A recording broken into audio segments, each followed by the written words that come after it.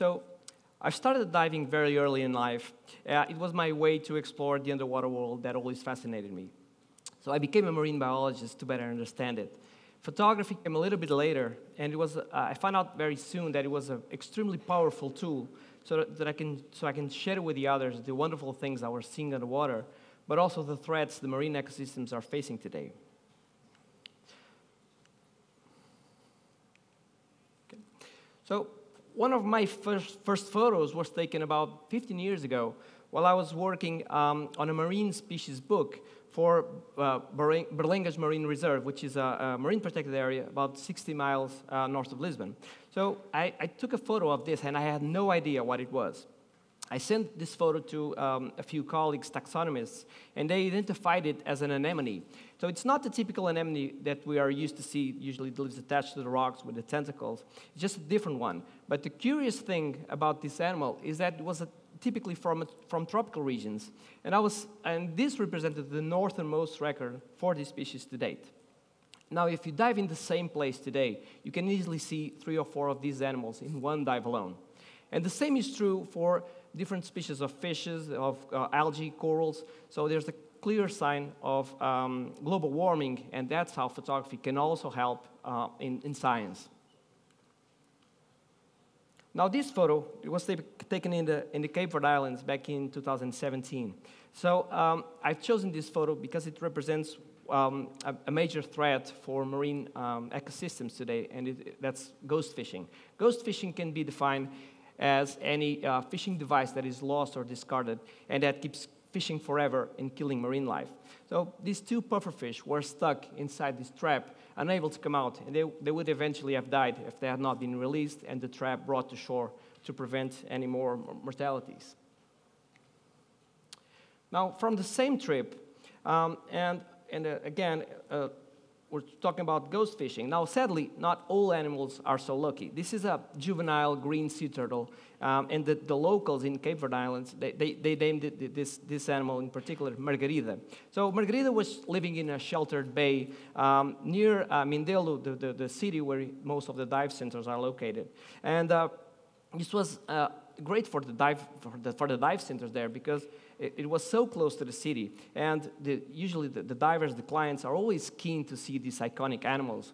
Um, so the, the, this, the fact that Margarida was uh, living in this sheltered bay nearby was saving them a lot of money on fuel because they would have, before this, before Margarida established there, they would have to travel three times the same distance to take clients to see turtles.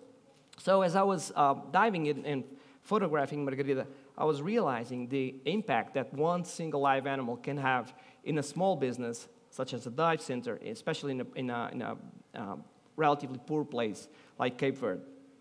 Now, three months later, I was back in Portugal, and I received a phone call of a friend. He was working in one of these dive centers, telling me that Margarida was found dead, entangled in a, in a, in a fishing net that was, was, was lost.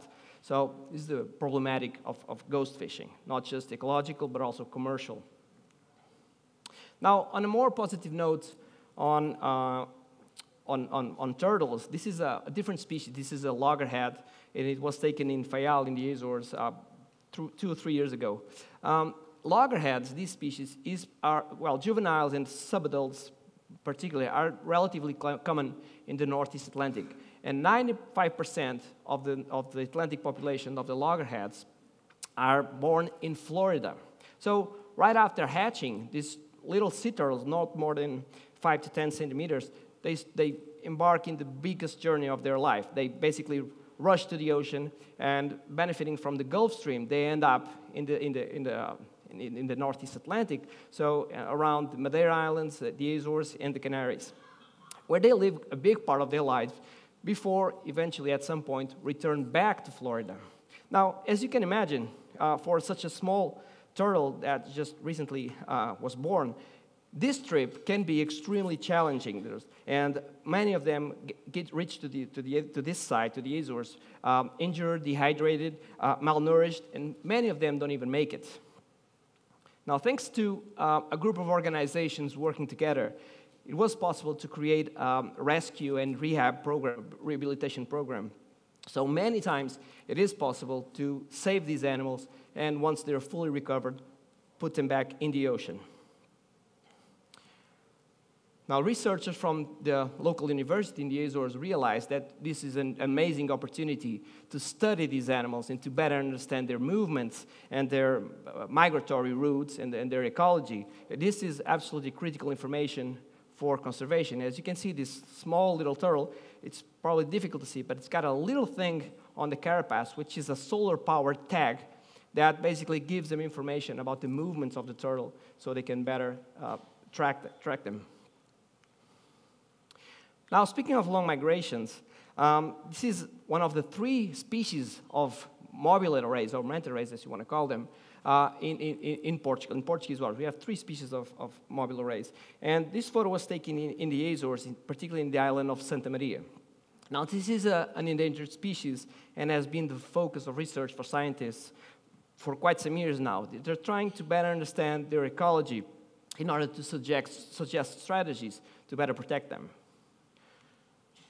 Now, this is a relatively common scenario on the top of two seamounts in the Azores, particularly the Princess Alice in Ambrosio. Um, uh, this one was taken in Ambrosio, so off Santa Maria Island, um, in 2018. Um, and these, these, these guys, basically, they, they get to, to, to, to the Azores, to the seamounts, uh, in the beginning of the summer, and they usually stay until late September. So this is a, an amazing opportunity for scientists to study these typically oceanic animals because they basically know they're going to stick around for the whole summer. So it's a, a, um, a great opportunity to better understand their uh, life habits and their, and their, and their movements. Uh, so I had an opportunity to be there uh, back in 2018 um, with Ana Filipa Sobral. Ana, please raise your arm. She's right there, and uh, she's about to, to defend her PhD uh, in manta rays and, and mobula rays in the Northeast Atlantic. And we were together back in 2018. That's Ana Filipa right there. And as you can see there, she's holding a pole in, in her hand. That's actually a biopsy pole that she uses to collect tissue samples from these animals. Basically, it's just a little pinch in, in, in, in these animals to collect tissue from the epiderm uh, uh, of, of, of the species so she can use in genetic studies and better understand population structure. Now, one of the first things uh, Ana asked me when I got to the Azores was to photograph the belly of the, of, of the mobula rays in the water. So this is one of the, the, the, the photos that I did um, back then. And, uh, and this is very interesting. So thanks to a, a tool called photo identification, uh, and thanks to a software, specific software that Ana uses, uh, this software can recognize all that gray pattern that you can see in the end of the, well, near, near the posterior end of, of the manta ray. That gray pattern is unique for each animal. So basically it works like a fingerprint. So uh, Ana created this uh, amazing tool, which is the Manta Catalog Project, and you can search online or you can uh, ask Ana more details about this. But basically, it's a citizen science program. So any diver that goes in the water and finds mobula rays can take a, take, a, take a photo and upload this photo into Manta Catalog project and eventually see if there's a match or if it's a new animal. So by creating this uh, network uh, from divers from all over the world, uh, it is possible to better understand this, um, this, this, this, species migration routes, habitats, and ecology. So it, this will make uh, scientists a lot easier, uh, the job a lot, lot, easier in order to create conservation um, initiatives. Now, I've chosen this image as it represents one of the main threats that sharks face nowadays, and I'm sure you will know about this. We're talking about shark finning. So, the, the, the, act of removing the fins from sharks, uh, mostly to, to sell uh, for shark fin soup, especially in the Asian market. Now, the, the, the, the act of um, well, shark finning can be extremely cruel. It's basically uh, they remove the, fins from the shark's body and quite often discard the body, often with, where these animals are still alive. Now, these animals unable to, to swim because they have no fins, basically swim, swim, sink down to the bottom. Uh, and most of the sharks, most of the species of sharks, need to be constantly swimming to oxygenate their gills and their, their to breathe. Um, so, unable to swim, these animals sink on the bottom of the seafloor and they will die of suffocation. Now, we're talking about an apex predator with a critical role in the ecosystem balance. So, removing these animals can have uh, dramatic effects and consequences, and we're now starting to experience the, the, this fact. Now, particularly in the islands of Pico and Faial in the Azores, um, besides the ecological important, importance of sharks, particularly blue shark, which, are, which is probably the most common um, species occurring in these waters, they also have a, a very important commercial uh, um, role, particularly in the diving market. So there's divers coming from all over the world to dive with these sharks in the clear blue waters of the Azores. So um, in a small place like Pico and Faial, divers coming from all over the world for the whole summer or sometimes more can have a great impact in the local economy. And it, it is, this is the, the proof that sharks worth much more alive than dead. Now, curious thing, these animals are not shy at all, and they often approach divers and they come to inspect us. Uh, uh, they don't harm you, but they, they come to inspect you. Now, this fact led local researchers in the Azores to develop a very interesting um, technique to study their movements.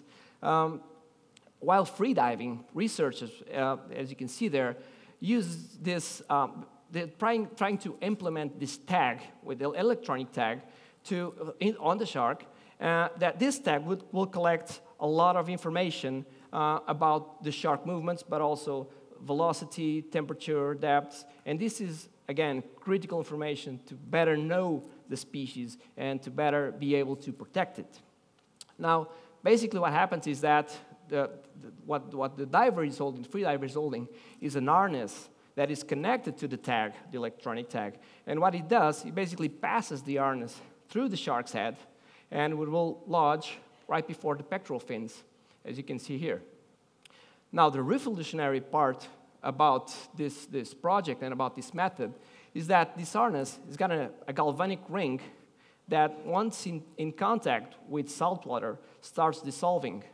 And between 24 to 48 hours, it will be completely dissolved and the harness will open and the whole device will come back to the surface, float back to the surface, uh, and will send a signal which will allow researchers to recover it and download the data and understand where this shark has been um, moving around, and all the information that I've mentioned that that tag is able to, to get. Now, while, while in the Azores, it's impossible not to mention some of the giants that occur there. So, sperm whales are a symbol of the Azores. Whale hunting um, happened until 1986 when it was prohibited. And since then, um, the, the, basically the whale hunting was replaced by whale watching. Now, you see, uh, every year, thousands of tourists fly to the Azores to be able to see these amazing animals, not just sperm whales, but about 30 species of marine mammals that occur in these waters, especially in, in, between April and June. So uh, you, of course, need a, a, special permit to dive and photograph these animals from the regional government.